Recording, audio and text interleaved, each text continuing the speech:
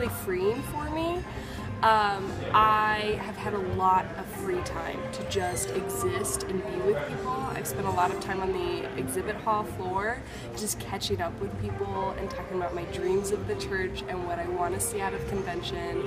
And it's been a really great experience just to connect with all these people that I love and cherish from past general conventions and to just be fully present without needing to be at any place at any given time. It's been awesome.